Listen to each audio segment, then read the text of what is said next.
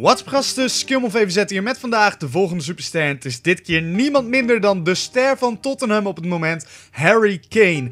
21 jaar oud en wat een seizoen beleeft deze kerel. Eerst wil je FIFA Ultimate Team Coins kopen? Ga dan naar de FUT Store. Voor een snelle en betrouwbare service gebruik de code VVZ bij betalen voor 5% korting. Staat allemaal in de omschrijving. Goed, we kijken naar Harry Kane. We beginnen bij zijn spelersprofiel, want hij is momenteel 3 miljoen euro waard. En dat is best wel weinig, voor als je ziet wat hij momenteel al heeft gepresteerd. Hij is 21 jaar, zoals gezegd, geboren op 28 juli 1993. Is best wel grappig, zelfde geboortedatum als mijn broertje, alleen 3 jaar eerder.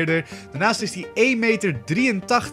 Zijn favoriete been is rechts en hij heeft 3 sterren skill moves en 3 sterren zwakke been. Kijken we naar zijn huidige kaartjes zien we dat Kane 68 algemeen is met 71 snelheid, 69 dribbelen, eveneens 69 schieten, 28 verdedigen, 60 passing en 64 physical.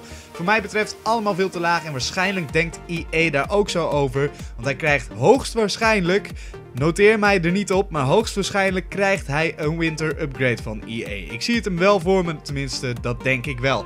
Als we kijken naar Harry Kane's statistieken, zien we dat hij voor Tottenham Hotspur momenteel 52 games heeft gespeeld en 22 keer in heeft gescoord. Dat is niet slecht. Daarnaast heeft hij ook 5 assists gegeven. Voor een 21-jarige komt hij behoorlijk aan spelen toe en helemaal de laatste weken Bijvoorbeeld tegen Chelsea maakte hij er even twee. En uh, ja, hij is gewoon in vorm. Harry Kane is een van die spelers die momenteel op vele lijstjes staat van de topclubs in de wereld. En helemaal in Engeland. Harry Kane doet heel goed zijn best. Ook voor Engeland. Internationaal gezien heeft hij namelijk 30 games gespeeld.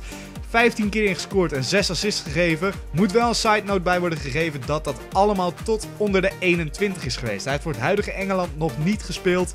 Maar in deze vorm kan dat lang niet meer zo lang duren totdat hij wordt opgeroepen voor Engeland. Als we kijken naar de toekomst van Harry Kane, vind ik dat hij een 83 algemeen kaartje als spits verdient. Met 80 snelheid, 82 dribbelen, 84 schieten, 36 verdedigen, 69 passing en 78 physical.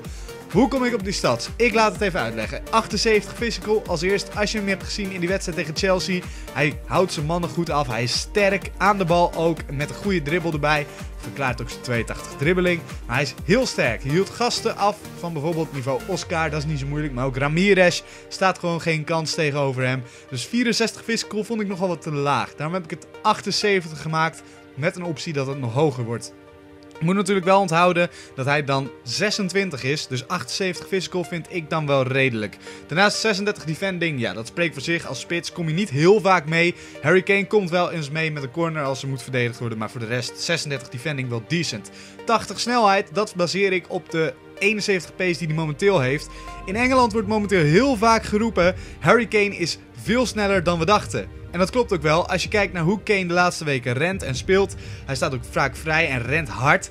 71 snelheid vind ik dus te laag. 80 vind ik meer reëel. Misschien zelfs nog 82 die kant op. 69 schieten geef ik 84. Als je ziet ook de goals die hij scoort de laatste weken met zijn schot. Vooral tegen Chelsea natuurlijk. Wat een afronder is het. 84 schieten. Helemaal in combi met het koppen kan dat goed, denk ik, bij Harry Kane.